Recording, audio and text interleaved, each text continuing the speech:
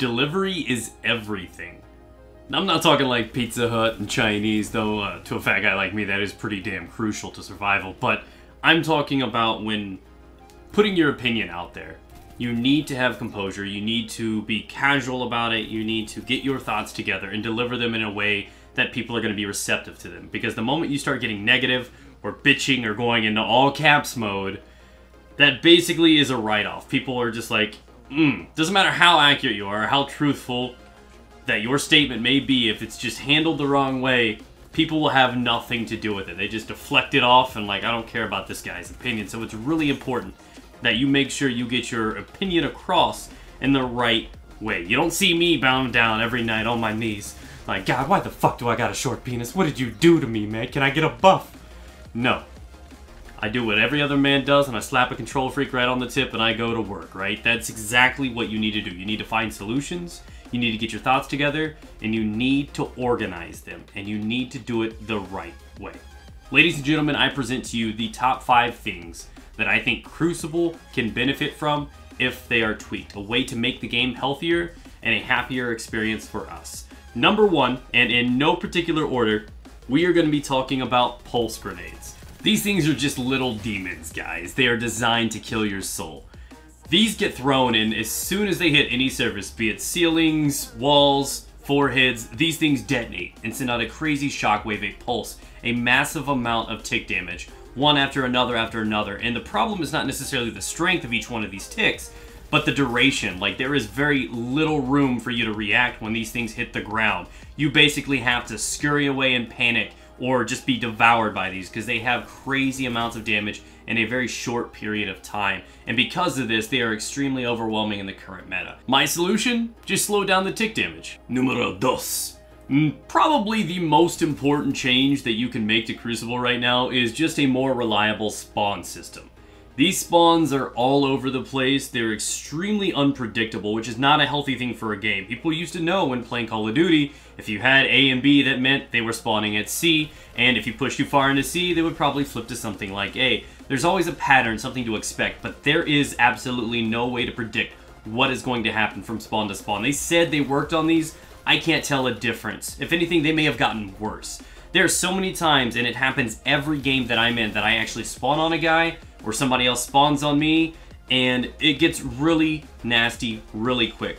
More importantly, a lot of people feel like this game is too much on the team shot, and I feel like part of this issue actually originates with the lack of good spawn system. I feel like everybody feels pressured. The moment they kill a guy, they think they have an advantage. Naturally, you kill one guy, you're like, okay, so it's a 4v3.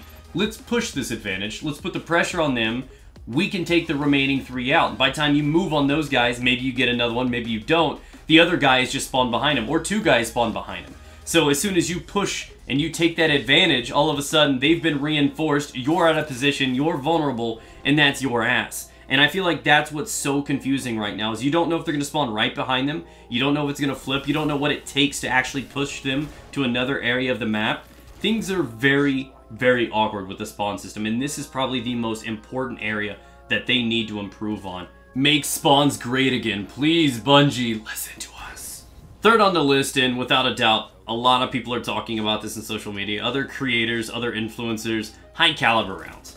The problem with high caliber rounds is that when you are shot by this, it creates a ridiculous amount of flinch, unpredictable flinch, and when your aiming becomes unpredictable, it's no longer about accuracy it now just basically becomes a toss-up. And this is where you create that confusion and just a lack of a dynamic experience. And when things become random, it's no longer balanced or accurate. And that's not something you want. It's not healthy for your game.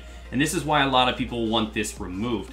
As much as I'd like to say, hey, we could probably nerf this or balance this out, realistically, for this to not be that big of a deal or not be as crippling as it is, they would have to severely nerf this thing. And at that point, you might as well substitute another perk in so that you actually have a legitimate bonus to your gun. So the best solution for this is to remove it from the game entirely. It's not as good as it used to be, in my opinion, in Destiny 1 for PvE, so it's not like it really affects that side of the game. Honestly, this is only a problem for Crucible, and I feel like this definitely just needs pulled. Fourth on my list is gun balance. Now, what I'm going to tell you may warrant a laugh or two, but I think we are actually really close to pure gun balance in Destiny 2. And I know that's pretty hard to envision given the track record, but hear me out. I feel like there are only two archetypes of weapon in this game that need some legitimate consideration for balance. And I will use the N-word. Nerf. This needs to happen. One of them doesn't need a major one, the other one does. And I'm sure you can predict what guns I'm talking about right now. We're talking about the Last Hope family, the sidearm archetype, and we're talking about the Uriel's family, the auto rifle, the 450 RPM auto rifle. Just the existence of these archetypes threaten the rest of the options in the game. Who would voluntarily use something else? And you know it to be true. People don't. They stick to the Uriels. They stick to these metas not because they're popular weapons, but because if they choose anything else, they're going to be at a natural disadvantage. And who wants that? You can't even blame them. Now, how do you balance the last hope? Truth of the matter is they gotta go after the strength, the raw impact or rate of fire of these weapons because they are so much stronger than the rest. They're roughly 30% faster in terms of time to kill than the rest of the competition in the game. And this is crucial. That is way too much of an advantage. A third faster is crazy. So these completely decimate competition. They make it so that any other sidearm is not viable. Any other submachine gun can't even hold a light to this gun. This one definitely needs hit with the Nerf hammer, and this isn't one of those guns that I think you can tweak with more recoil or something like that. Just the raw burst and power of this weapon needs to be hit head on.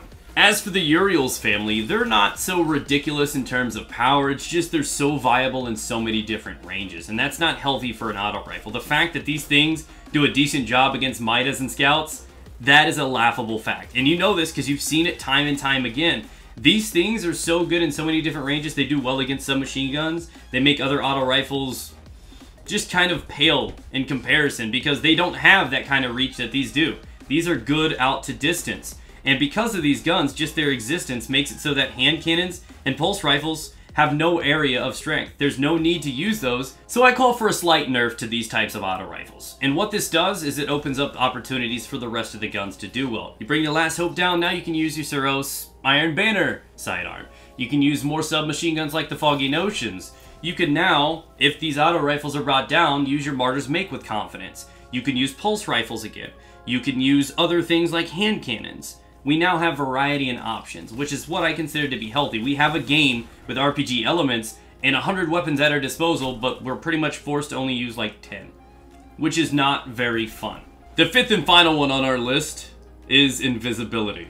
And I know you hunters are pretty throttled out there in terms of abilities. I know this. I'm sorry, my hunter friends. I can't help that your dodge roll is just poo-poo. And I don't mean to attack the one good thing the Night Stalker's got going for it. But it's cheesy, guys, and it needs to be said. Invisibility may not seem like a big deal to you right now, but it will eventually become an epidemic. More and more people will find out about it, just like Shade Step was initially. And then as it progressed, as time went on, people had it used against them. They're like, oh shit, well I'm gonna do this. The big issues with this are the fact that when you shoot an invisible target, not only is it hard enough to find the target, Lord knows you're probably not landing a precision shot, but when you find that invisible target and you shoot them, they are not revealed instantly, which needs to happen. This is a common thing in games where invisibility is used. When you are located, when you are identified, it reveals you. That is what's supposed to happen. Why it doesn't happen in this game, I have no damn clue. It's kind of confusing. To go further on while invisible, some of those tracker grenades do not work. I've seen Axion bolts just stop in their track and say, fuck it, bro, I'm taking a nap. And that's how it is. They have no interest in invisible things.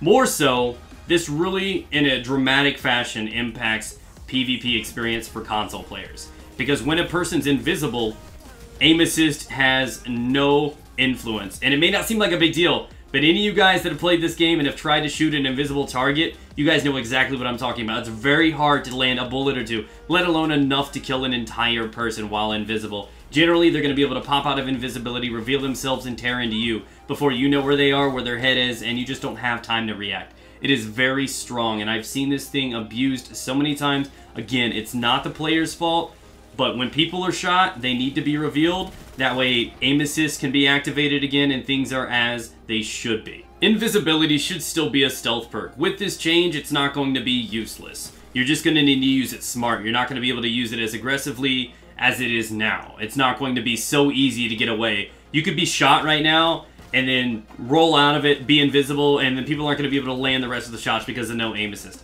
Again, this isn't going to be a big deal for PC, but for console, it really does hurt the experience. So That's why I feel like it's one. And that may be my personal one that some people may disagree with. I encourage you guys to leave feedback down below. Drop a comment. Again, be polite. Make sure you get your message across without being extremely emotional or kind of irritated. Just use your words, think about it, release it all over my comment section's face. Go ahead, guys. Thanks again. Subscribe. Go ahead and fist the havoc that like button as it helps the channel grow. And I will catch you with another video soon.